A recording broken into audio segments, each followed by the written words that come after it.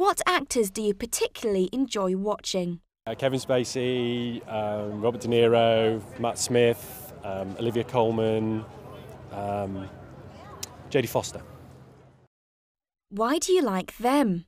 I think there's well, there's two things with actors. One is the ability to take on another character and perform it outside of themselves, but also, I think you tend to find that, that actors who are that famous have some sort of star quality, for want of a better expression, a pull towards them, like great sports stars.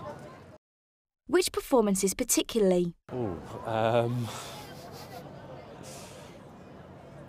uh, well, Robert De Niro in Taxi Driver is something to be beheld. Um, I've seen Kevin Spacey a few times on stage, and he's been incredibly impressive. Um, so, yeah.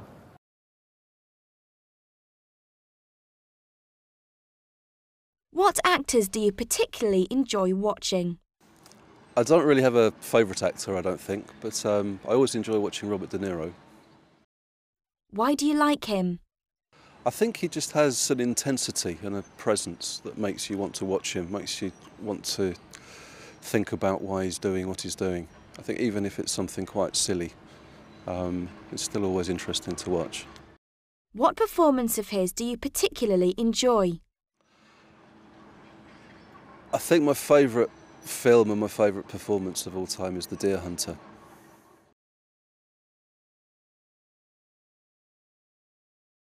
What actors do you particularly enjoy watching? I really like Judi Dench and I also like Russell Crowe. Why do you like them? What is it about them that you like? Um, I think they show a lot of emotion when they're acting. What roles in particular do you enjoy watching them in? Um, I like Judi Dench in her role um, in the Bond films, and I really enjoyed um, Russell Crowe in Gladiator.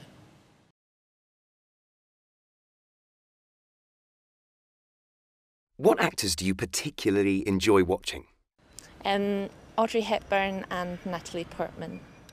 Why do you like them?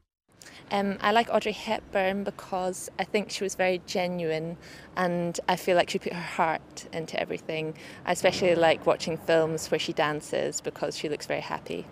Um, I like Natalie Portman because um, I feel like she is a very good actor.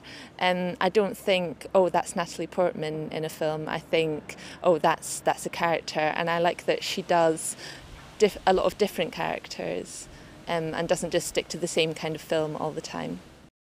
Which of their performances did you particularly enjoy?